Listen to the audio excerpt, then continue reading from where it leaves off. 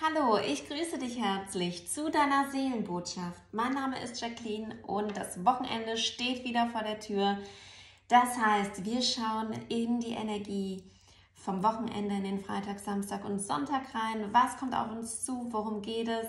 Vielleicht hast du schon die Wochenbotschaft gesehen. Das hier ist praktisch nochmal einfach ein Screenshot von dem Wochenende an sich. Das ersetzt aber natürlich nicht die Wochenbotschaft. Da kannst du auch gerne reinschauen. Und natürlich sind auch schon alle Sternzeichenlegungen für den Dezember, den wir jetzt bereits haben, online. Das heißt, ähm, ja, vielleicht schaust du mal vorbei und kriegst noch ein paar Infos, was so auf dich zukommt. Ja, zu Beginn möchte ich mich einmal von Herzen bei dir bedanken. Es freut mich wirklich sehr, wie der Kanal wächst. Vielen Dank, schön, dass du da bist für die ganzen Likes, die ich bekomme, die liebevollen Kommentare. Und das, du kannst es dir nicht vorstellen, aber das unterstützt mich wirklich. Das motiviert mich und ja, ich bin überglücklich, dass ich im besten Fall dir auf irgendeine Art helfen oder dich unterstützen kann. Also von Herzen Dankeschön. Und des Weiteren, ähm, ja, möchte ich darauf hinweisen, bevor ich starte, alle Kartendecks findest du in der Infobox. Aber du findest dort auch die Anmeldung zum Ritual- und Tranceabend live via Zoom mit mir am 12. und 19. Dezember. Und äh, es gibt sogar eine Aufzeichnung, auch wenn du nicht live dabei sein kannst, kannst du es für dich zu Hause nachholen. Also melde dich gerne an. Ebenso, worauf ich mich so freue, ist die Rauhnachtsbegleitung. Und es ist jetzt online, also du kannst es unten jetzt erwerben. Du hältst auch sofort Zugriff darauf, weil es mir ganz wichtig war, dass du die Rauhnächte dann praktizierst, wenn es sich für dich richtig anfühlt. Und ich weiß, sehr viele in der spirituellen Welt, sage ich mal, fühlen die Rauhnächte jetzt zu einem anderen Datum, zu einer anderen Zeit und da dachte ich mir, macht es einfach Sinn, dass du direkt Zugriff auf alles hast. Natürlich, wenn du klassisch bei den Rauhnächten, also starten möchtest am 21. Dezember beziehungsweise am 24. Dezember in der Nacht, dann würde ich dir raten, nicht vorzusetzen und dich überraschen zu lassen, denn du erhältst wirklich 14 Videos, du hältst ein komplettes Jahresorakel, ein Auswahlorakel in den einzelnen Videos für jeden Monat im neuen Jahr ein Orakel und von mir eine angeleitete ja, Selbstreflexion. Ich erkläre dir den Ritus, ich erkläre dir die Bräuche und wir räuchern zusammen und wir ziehen auch Wünsche und ich begleite dich komplett dadurch. Also wenn du Lust hast, dann ja, sei mit dabei. Wie gesagt, es ist eine Art Videoreihe, damit du es für dich selbst praktizieren kannst. So, und ich würde sagen, wir schauen mal in das Wochenende rein. Ich verbinde mich mit dem Seelenkollektiv. Ich verbinde mich mit dem Seelenkollektiv, denn es gibt hier die News zum Wochenende. Ich verbinde mich mit dem Seelenkollektiv und mit dem Wochenende, mit der Wochenendenergie. Freitag, Samstag und Sonntag. Was kommt auf uns zu? Was zeigt sich? Worum geht es hier?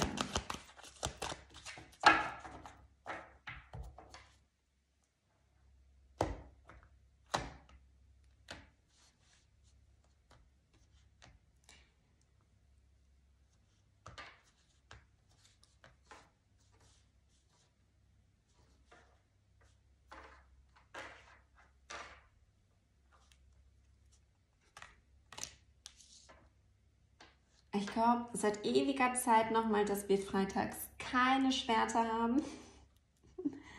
Freut mich ja. Okay.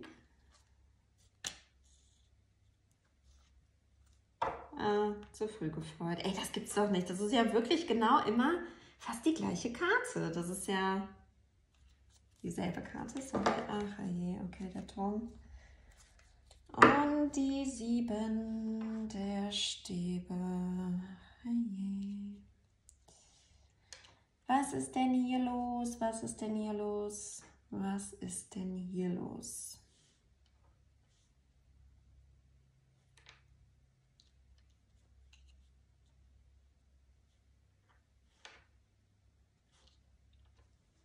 Sodele, sieht man das? Ja, meine Lieben, was ist das denn? Der jetzt zugehört hat beim Mischen. Ich habe die erste Karte aufgedeckt und sagte, wow, das ist das erste Mal, dass hier keine äh, Schwerter liegen. Und schwupps kam die fünf der Schwerter im Unterbewussten. Und ich meine diese Karte und fünf der Schwerter und acht der Schwerter ist so oft präsent an Fre also am Freitag, generell in den Legungen immer zum Wochenende. Verrückt. Wir haben hier zwei Personenkarten. Wir haben den Turm. Also das ist echt ein verrücktes Wochenende. Ich bekomme es sehr vielfältig, gerade was die Be äh, Emotionen betrifft.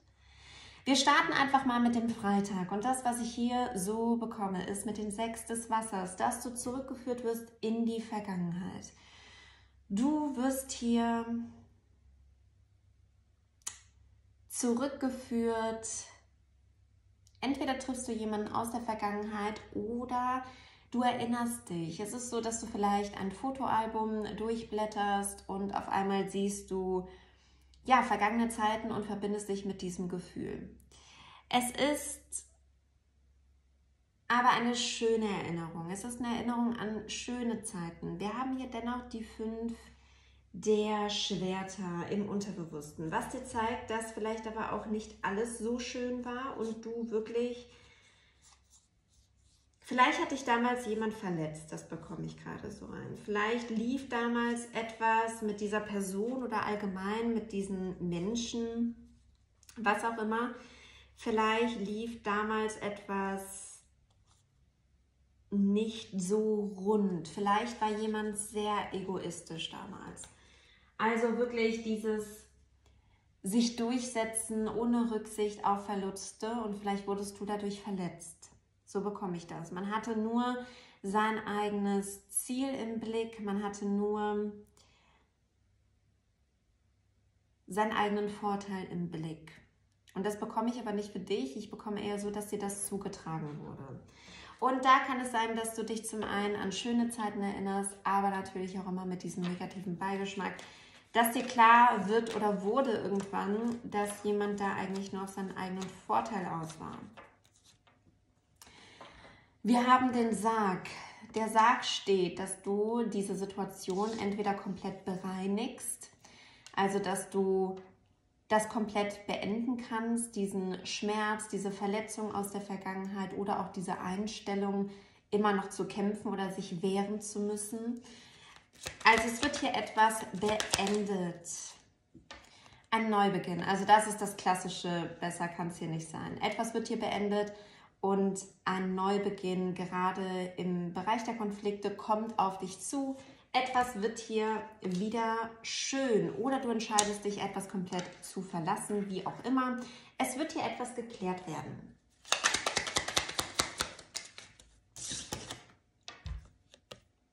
Hoffnung, großes Wasser. Bei Wasser sind wir wieder bei den Emotionen. Es ist so, dass hier auch deine Gefühle gereinigt werden. Also es geht hier wirklich um Situationen, vielleicht auch sogar um mehrere Menschen oder um ein Bündnis, was du jetzt nochmal beleuchtest, nochmal fühlst und dann das Negative loslässt und in eine komplett neue Haltung gehst. Ne? Hier haben wir auch die Haltung. Du gehst in eine komplett neue Haltung. Es kann sein, dass du dafür etwas loslassen musst. Vielleicht einen Menschen, vielleicht aber auch einfach nur deine Einstellung. Und dann geht es in etwas Neues. Ein Neubeginn ist hier präsent. Worum geht es am Freitag? Doppelte Bestätigung. Hier haben wir sogar stehen. Neubeginn. Ein Neubeginn auf allen Ebenen. Vom Gefühl würde ich jetzt hier ab. Oh, ich habe sich noch eine Karte umgedreht, die habe ich nicht gesehen, sorry. Rosengarten. Neubeginn und Rosengarten haben wir hier.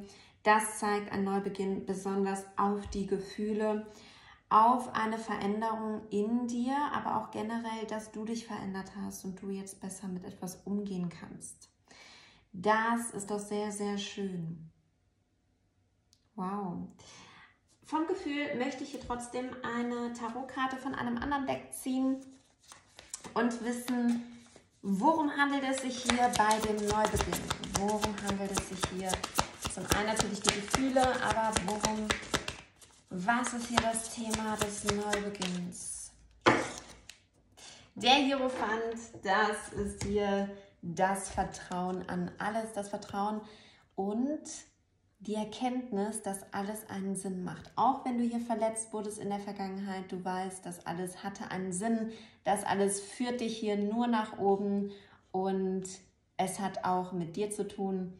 Das heißt, du bist dadurch gewachsen und du bist dadurch der Mensch, der du heute bist. Wow, das ist ja ein toller Tag. Ich bekomme den Tag aber tatsächlich als also wunderschön mit einer Art Leichtigkeit. Ich bekomme wirklich eine Art Leichtigkeit rein und dass sich das alles wie eine Erkenntnis auf einmal fügt. Sehr schön. Wir gehen mal in den Samstag. Wir haben den König des Feuers und wir haben den Turm im Unterbewussten.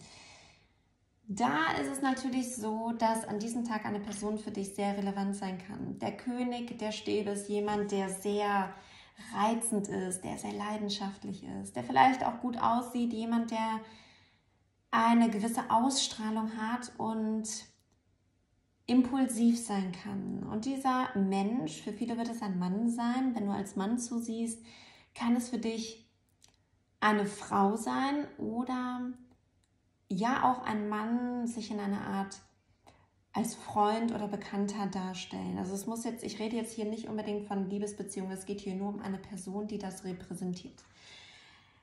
Und im Unterbewusstsein haben wir den Turm. Das heißt, es könnte auch hier eine Erkenntnis stattfinden. Es könnte hier etwas aufbrechen, eine Ansicht vielleicht zu der Person oder etwas, was dir bewusst wird. Wir gehen da natürlich jetzt tiefer drauf rein. Einmal bitte auf den König der Stäbe. König der Stäbe liegt hier mit dem Blumenstrauß, eigentlich ein Geschenk. Das heißt, du bist sehr harmonisch mit diesem Menschen an dem Tag. Er kommt vielleicht sogar mit einem Geschenk auf dich zu. Also vielleicht wirst du an dem Tag beschenkt oder aber die ganze Atmosphäre ist wie ein Geschenk. Du fühlst dich wohl, du fühlst dich gut. Also diese Verbindung, die trägt euch beide. Wenn ihr euch beide seht, geht die Sonne auf und das muss jetzt nicht wie gesagt, dein Gegenüber sein. Das kann auch in Freundschaft, Familie sein, ein Onkel sein, was auch immer. Aber es ist eine sehr bereichernde Verbindung. Da frage ich mich doch, was soll der Turm? Eine Klärungskarte auf den Turm, bitte hier. Hallo, okay. Ein Ring. Wir haben den Ring hier. Der Ring steht natürlich für etwas Wiederkehrendes, er steht aber auch für Verträge, Bündnisse. Das ist interessant, also der Turm mit dem Ring. Nee, da möchte ich, möchte ich noch eine Karte drauf haben. Eine Karte bitte auf den Turm. Der Karte Turm. Danke.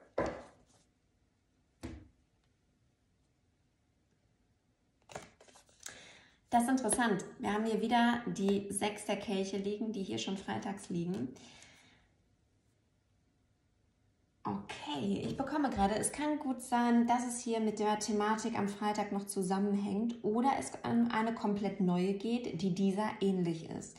Du wirst an diesem Wochenende extrem in die Vergangenheit versetzt. Vielleicht, und da bekomme ich viele Situationen, vielleicht kommt auch dieser Mensch auf dich zu mit einem Art Angebot, mit einem Art Vertrag, mit etwas, was in der Vergangenheit gestartet wurde, jetzt weitergemacht werden soll. Das kann auch sein, dass man sagt, okay, vielleicht hattet ihr schon mal zusammengearbeitet oder irgendwas zusammen gemacht, was auch immer. Und man sagt jetzt, man möchte das wieder aufleben lassen, man möchte wieder in die Wiederholung gehen. Der Turm ist dadurch, dass etwas dann plötzlich auf dich zukommt, damit rechnest du halt nicht. Ähm, das heißt, dein Unterbewusstsein rechnet auch nicht damit, und ich weiß, es ist etwas widersprüchlich, diese Aussage, aber es kommt etwas plötzlich und das macht im Unterbewussten viel mit dir. Du gehst in die Erinnerung, wie war das damals mit dem Menschen, wie war das damals in dieser Situation und du wägst für dich ab, ob du das wiederholen möchtest. Generell kommt diese Person aber wirklich mit einer sehr positiven Haltung und hier haben wir wieder die Arbeit. Interessanterweise ähnelt das so ein bisschen der Thematik aus den kommenden 48 Stunden. Vielleicht hast du es schon gesehen. Wenn nicht, schau es dir mal an. Für mich steht hier so eine Verbindung drin, weil auch da kommt etwas oder jemand mit einem Vertrag, einem Angebot auf dich zu. Also da kannst du definitiv auch noch Informationen für dich holen. Also du bist hier noch im Beleuchten. Vielleicht aber, wenn es damit zusammenhängt, dass diese Person nicht mit einem Angebot auf dich zukommt, sondern eher dir ein Geschenk bringt, dann kann es sein, dass du dir einen Rat von dieser Person holst, bezogen auf das Angebot von einer anderen Person. Ich hoffe, du kannst mir folgen. Auf jeden Fall bekommst du hier, ähm, ja, also etwas wird dir klar, etwas reißt auf. Der Turm ist das Aufbrechen und das könnte hier sehr gut mit Erkenntnissen sein. Vielleicht auch einfach, dass du hier plötzlich die Antwort bekommst auf die Entscheidung, die du treffen musst, bezogen auf ein Angebot. Für den Samstag bitte eine Karte. Innere Stärke haben wir die Maus, das heißt, innere Stärke bekommst du auch von außen, das heißt von anderen Menschen, von dem König der Stäben, von anderen. Du bekommst die Stärke, weil du hier aufbrichst und dadurch, dass du dann eine Erkenntnis bekommst, weißt du vielleicht dann genau, was hier zu tun ist.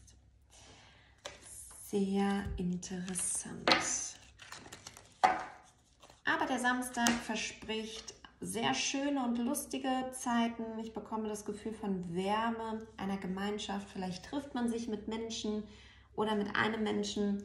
Vielleicht auch Feierlichkeiten. Vielleicht hat es schon etwas mit Weihnachten zu tun. Wir sehen hier die ganzen Funken. Also du wirst auch sehr berührt werden an dem Tag. So, und nun kommen wir zum Sonntag. Da haben wir im Unterbewussten die sieben der Stäbe und den König der Kelche. Und da kann es sein, dass du entweder wieder Kontakt hast zu einer Person, die die Eigenschaften des König der Kelche mitbringt, jemand, der dir zuhört, jemand, der dir einen guten Rat gibt, der sagt, hör mal, schau dir das alles mal an, fühl da mal rein, ich helfe dir dabei. Es könnte sich hier auch um einen Coach, einen Lehrer handeln, um eine sehr liebende und hilfsbereitende Person. Im Unterbewussten ist es so, dass du bereit bist, dich für dich selber einzusetzen, dass du bereit bist, in einer guten Position zurückzuschlagen oder halt auch einfach zu antworten. Das muss jetzt gar nicht ein Kampf oder eine Streitigkeit sein. Das kann ja auch einfach sein, du verteidigst dich, du verteidigst deine Meinung. Es kann natürlich auch sein, dass du deine Meinung gegenüber diesen König der Kelche verteidigst. Also, dass man spricht über Gefühle und du einfach deine Gefühle ganz offen und direkt aussprichst. Eine Klärungskarte für den König könnte auf ein Familienmitglied hindeuten mit den Bäumen, könnte auch einfach sein, dass jemand, der dir Kraft gibt, ähm, jemand, der es auch gut mit dir meint, jemand, der daran interessiert ist, dass es dir gut geht. Auf die sieben der Stäbe haben wir den Schlüssel. Es kann sein, dass es halt genau darum ging, dass dir diese Situation passiert ist. Was auch immer, entweder die oder die hier oder vielleicht ist es auch eins bei dir.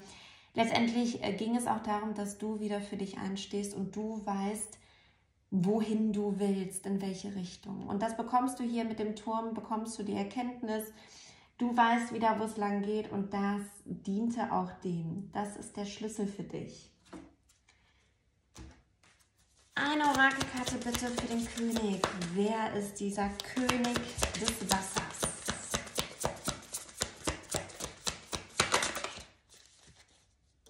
Sechs der Münzen, das ist jemand, der dich unterstützt. Das ist jemand, der sehr hilfsbereit ist, wo ihr euch gegenseitig eigentlich schon oft unterstützt habt. Vielleicht hat er dich auch finanziell unterstützt oder wird dich finanziell unterstützen. Es ist jemand, der der dir wirklich helfen möchte, der wirklich einen guten Rat dir schenken möchte. Und du bist sehr verbunden mit diesem Menschen emotional. Dieser Mensch wird dir helfen. Auch hier bekomme ich eine Art Bündnis rein. Wir haben hier ne, die liegende Acht. Tatsächlich, äh, so sieht man es fast, ne, diese weißen Striche. Also es könnte sich hier wieder um, um einen Vertrag, dass man sich Hilfe holt, bezogen auf ein Angebot, ob man einen Deal eingehen soll oder ob man sich gegenseitig unterstützen soll. Eine Botschaft auf die sieben der Stiebe. Dann haben wir drei. Wir haben die fünf der Münzen, den Wagen und jetzt die Königin der Kelche. Also praktisch der Gegenpol hier, was mir zeigt, du bist auch in der Kelchenergie und auch hier stecken Hinweise drin ähm, auf die Legung vom den kommenden 48 Stunden. Das zieht sich natürlich, Zeit ist natürlich fließend im Tarot. Also du darfst hier reinfühlen, beleuchten und wirklich schauen, wohin möchte ich gehen. Auch hier haben wir wieder den Schlüssel drauf. Das ist dein Schlüssel. Du kommst hier wieder in, dein, in deine eigene Navigation rein, bekomme ich. Sehr schön. Das ist die Lösung. Es ist aber nicht so, als würde die Lösung komplett wow, zufallen, sondern das war ein bisschen Arbeit hier, dass du darauf stoßen konntest. Das schützende Nest, das heißt, du bist definitiv geschützt, auch gefühlsmäßig fühlst du dich behütet und geschützt. Auch im Austausch mit dieser Person kommst du schützend an deine Lösung.